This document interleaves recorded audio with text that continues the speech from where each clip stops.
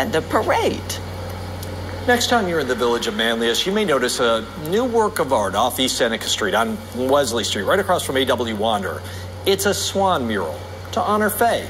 News Channel 9's Steph Stoiko shares more on the special mural honoring the life of the iconic swan.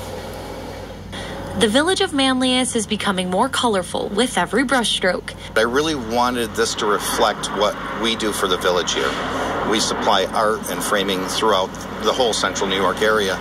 This newly painted mural is paying tribute not only to the Manlius community, but their beloved mascot.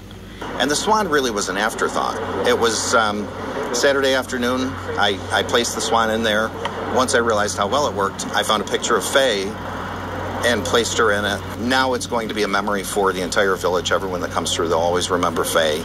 Mark Noble's most recent work of art alongside St. Laurent framing taking on new meaning after her tragic death. This is one of three murals Noble has painted in the village, a perfect photo op for children and a positive reminder to always be a swan in a pond full of ducks. It's nice that it actually has has meaning besides just a just a pretty picture. You know, it's, it's nice to have a story behind the images. Um, and obviously, it's a frame shop, so we have a nice gold frame there for his shop. And the artwork is drawing people from all over. It's always going to be a symbol of the village, and I think it's the perfect fit for here. Um, I we've had people stopping, parking, taking pictures. Yeah, just you'll see it.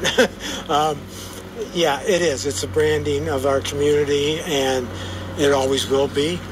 Like birds of a feather, this community sticks together. In the village of Manlius, Steph Stoiko, News Channel 9. Noble will be putting the finishing touches on the mural this weekend.